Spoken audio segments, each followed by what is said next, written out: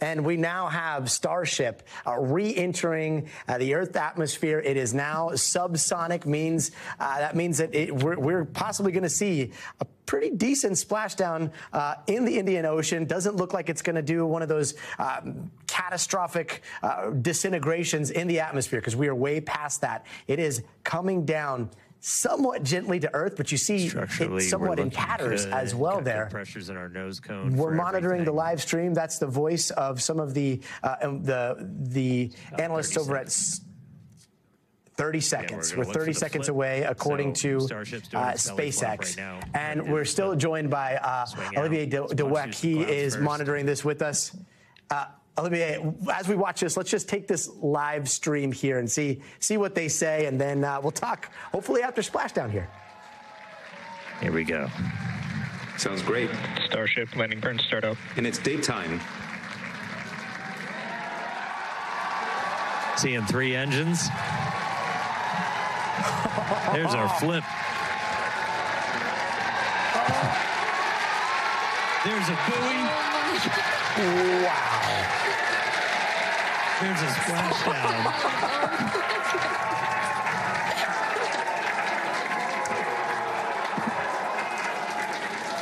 hey.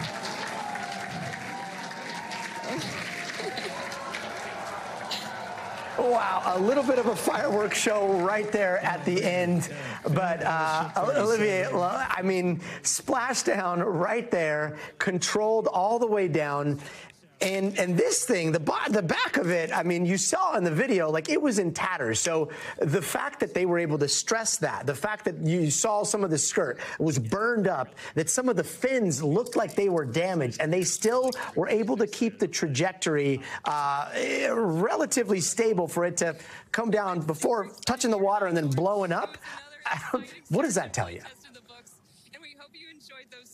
Uh, well, another, a couple other things to observe here beside the rocket itself, the Starship itself. First of all, it's daytime, right?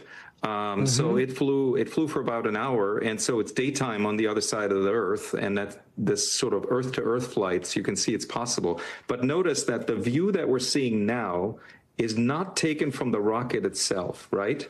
Because most of the mm-hmm. views that we saw were from cameras on the rocket itself transmitted to Starlink.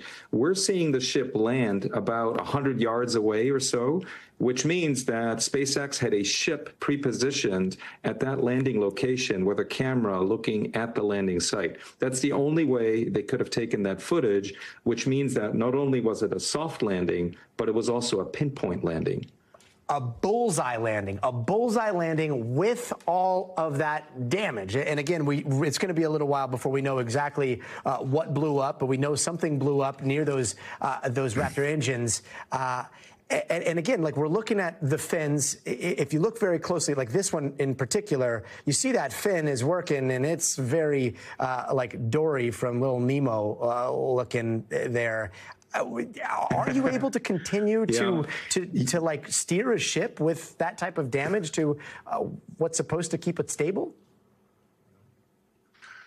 You know, it's really remarkable with digital flight controls what you can do if you have multiple means of control. You have the fins, you also have thrust vectoring. So it's you can lose perhaps a fin or half a fin and still land safely because you can use your thrust vectoring to compensate for that. Uh, you know, we've been able to land fighter airplanes with half a wing gone because mm-hmm. the flight controller senses that something's amiss and compensates for that asymmetry. So uh, great kudos not just to our thermal engineers tonight, but our flight control engineers as well. This is a remarkable feat, a huge success for SpaceX and um, and and rocketry overall. Really a great night.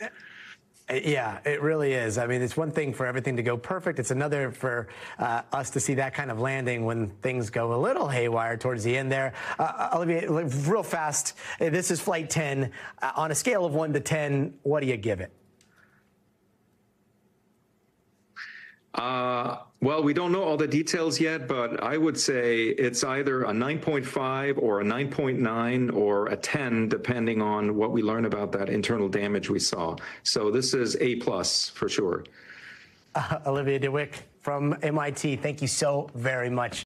We thank you for watching, and remember, stay updated on breaking news and top stories on the NBC News app or watch live on our YouTube channel.